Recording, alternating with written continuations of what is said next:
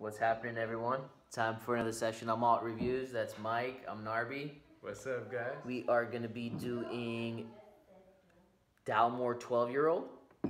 Um, this Dalmore 12 year old is a much older release than the current current bottling, and um, we found this bottle at just at a local local liquor store for pretty cheap. How much was this? Would you find it at? 40 bucks. 40 bucks. So an older bottling of Dalmore. Anytime you see an older bottling, you know, most of you guys that are really into whiskey, you know, it's exciting to find an older version. Um, usually, you know, usually doesn't exist anymore, and we're always curious to see what the older quality is like. So got a few bottles of this. Um, you can see, the cork on here is not obviously the original cork. We popped another cork in here, as you usually get with older bottlings. Um, a lot of times the cork just kind of breaks off. A lot of times it kind of falls in or just kind of cracks on top. So we got a bad cork with this bottle. So we just popped this guy in here to protect. Um, we've been uh, using this whiskey to obviously drink as a single malt, but we've also been using it uh, to make cocktails as well. We, we tend to do that with 12 uh, year old whiskeys. We do that with Highland Park 12. We've done it with this um, Dalmore 12. So, you know, like to use um, some 10 to 12 year old scotches for cocktails as well sometimes. But right now, this is obviously, we're going to review this as a sipping single malt. Um, we could show you the color, but as most of you guys know, Dalmore adds colorant to it, so I don't really think it means anything by us telling you what color it is. It is a light, light gold, golden color, but you know, as you guys know, Dalmore adds colorant to their whiskey, so it doesn't really matter. This is bottled at, it doesn't say. It doesn't say what it's bottled at on the bottle. That's very strange. You would think it would, but I think it's at 40%. It's either 40 or 43. I don't know which one it is, but it doesn't say on the bottle. I think it's 40. But yeah. Did it come with the box? Yeah, it did. It did? You have it? No. Okay. But I think it's 40. Okay. So it's either 40 or 43. Apologize, you guys. That's definitely something you should know when you're doing a review, but I'm not, I'm not totally sure. On the nose, this has been breathing for about 15 minutes.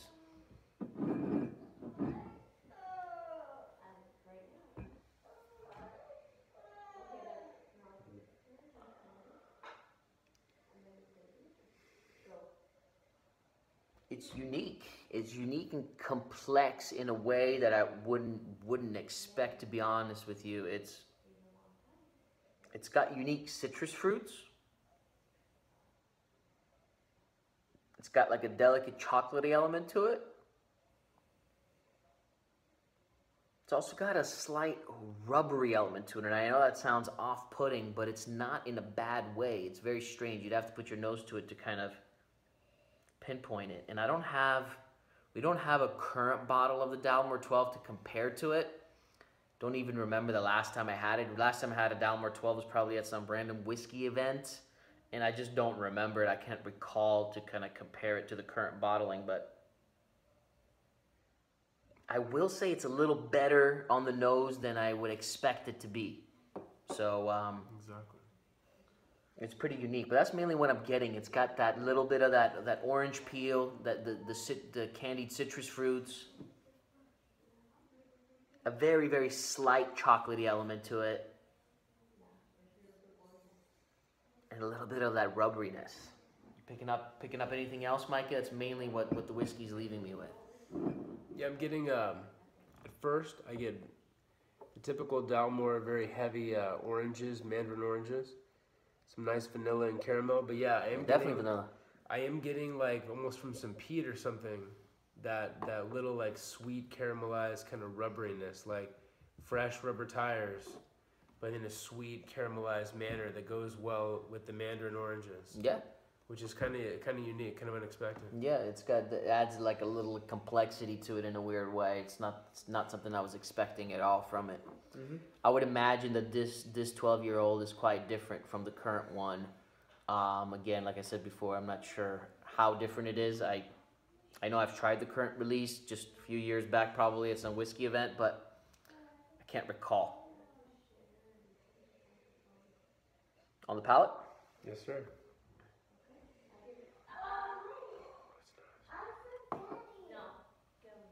Daniel, the, Daniel, the, the, the door is open and Daniel, Daniel, Daniel, Daniel, the door is open.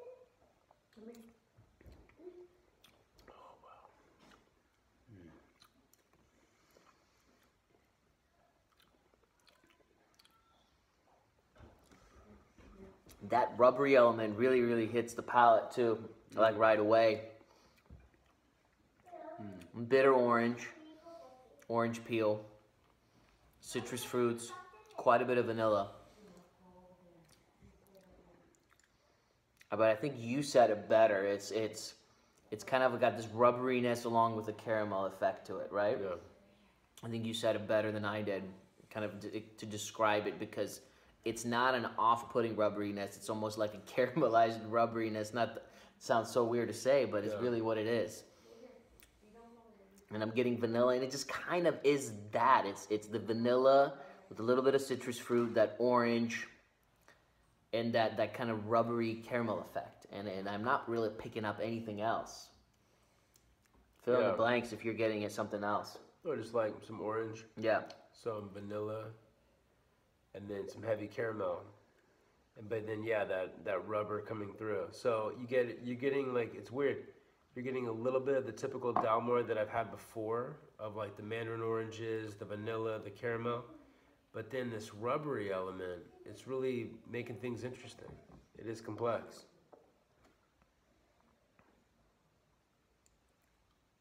One more sip.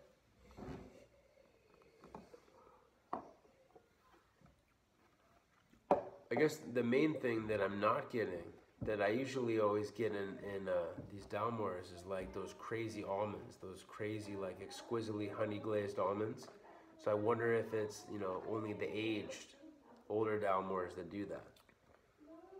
Yeah, to be fair, he's a spoiled asshole who's been drinking Dalmore 50 and- Dalmore 25. It's true. So, in Dalmore 1974. And um, yeah, with those Dalmores, he's absolutely right. He's just not used to drinking the 12 year old. And obviously, you're not to get as beautiful of a whiskey in their, in their 12 year old. But I would say, is this. I know it's an older version, so it's not the current version, but let's, you know, just, just assume that it's similar quality. At forty dollars, it's okay. I would use it as something that you can drink, definitely as a single malt. I think it qualifies for that. Um, it makes a beautiful cocktail as well. Um, we could talk about that in a different review on another day on on how we like to use scotches and bourbons to kind of uh, create beautiful cocktails, both for yourself and especially for guests when you have company over. Um, but pretty solid. I would. Um, I think I would give this. I'd give this a 80 out of 100. I'll give it an 82 out of 100. Yeah. And one thing I'm gonna add is on the on my second and third sit back, I started to get like some um, more of the oak, some nice wood, some nice oak, and then that the original citrus, the mandarin oranges, almost mutated into like some lemon and some nice lemon wax wood polish, like some nice caramelized pledge wood polish, like you get like in a nice old Port Ellen. So that's kind of an interesting complexity that kept evolving. It does have that waxiness, and it's kind of, I guess that waxiness is along along the line with the rubberiness. It all just kind of depends on how you're Yeah. picking your words. Um, but it does have a waxy element to it, absolutely as well. So, yeah, I would say the finish is not very long. It's kind of kind of a short finish, especially when it comes to the comes to the fruit, the citrus fruit, and the vanilla and the caramel. Um, I would say that part is short, and the waxy and and, and the um, the rubbery effect kind of lingers a little bit. But in terms of the the fruity elements, it's very short, so it kind of disappears pretty quickly. Yeah. Uh, not expecting a, t- a super long finish in the in the 12 year old range. Um, it's pretty good. Um, is there better better options out there for 40? And there's not too many options, as you guys know, for the price. Um, but but pretty good. All right. Uh, we're actually gonna do a few Dalmore, so stay tuned. I know we've done the really high end range. We've done Dalmore 50 year old, which is insane. We've done Dalmore 25 year old. We've done Dalmore 21 year old. Um, so we're gonna do this 12 we just did. We're gonna do the 18 and the King Alexander as well. So you guys are gonna get kind of um, most of the lineup that Dalmore has to offer here. All right. So we'll see you guys soon for another review. Cheers. Cheers.